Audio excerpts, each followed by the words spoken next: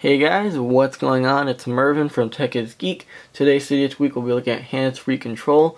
And basically what this allows you to do is to open up Siri without having to hold down the home button, which something uh, Apple should have implemented when it first uh, released, when it was released. But um, taking a look at it, you do have the settings here. It is available for $2.99 in the Big Boss repo. Uh, and uh, let's go and take a look at the settings here. You do have listening service, keyword. You can change the keyword of what you uh, of what you want to uh, when you activate Siri.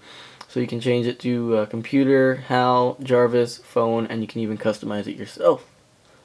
Taking a look at the next settings we have is filter sensitivity. You can change it to very strict, strict, normal, loose, and very loose. And the audio quality you do have high, medium, and low. And uh, the rest we have voice response, sound slash vibrations, and legacy mode, which I don't know what that does. So let's go ahead and try it out.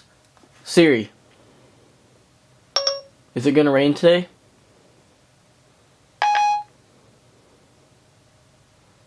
Yes, it's likely to rain today.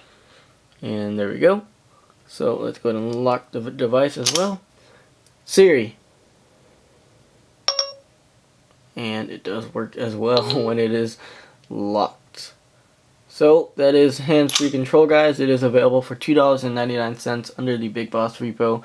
Go definitely go ahead and check this out. It's definitely something Apple should have came out with before. But um, that's what the jailbreak is for.